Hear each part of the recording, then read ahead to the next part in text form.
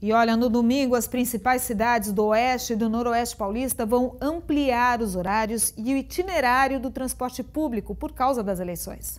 Em Rio Preto, todas as 80 linhas fixas vão contar em caráter excepcional com o mesmo número de rodadas ofertado aos sábados. Além disso, veículos reserva ficarão apostos no terminal central para qualquer eventualidade.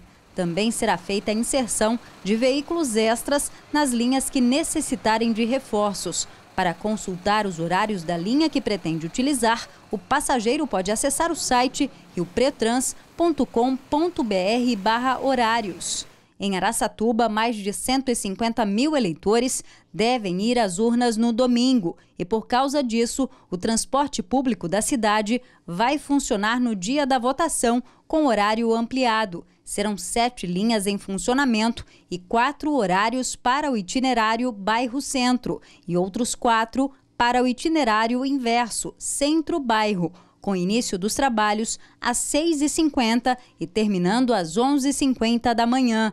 Em Presidente Prudente, serão 29 linhas de ônibus com horário ampliado. De acordo com a pasta, os percursos serão a cada duas horas, porém, há alguns que farão itinerário a cada três, outros de hora em hora.